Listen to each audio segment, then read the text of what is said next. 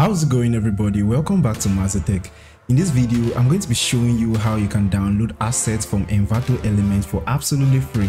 It's completely legal and not many people know about this, so without any further ado, let's jump right into it.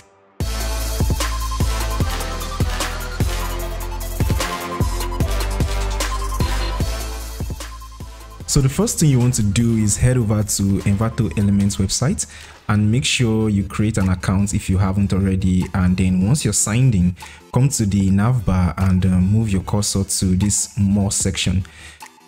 Under there you have another section called free files. So every month envato elements usually gives out free files. So just click on the monthly free files here and it will load and show you all the free files for the month.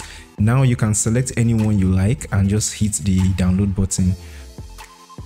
Agree to the terms and conditions and then click on download However, there is nothing stopping you from actually subscribing to Envato Elements so you can have access to unlimited creative assets for your project. Make sure you check the link in my description to get started.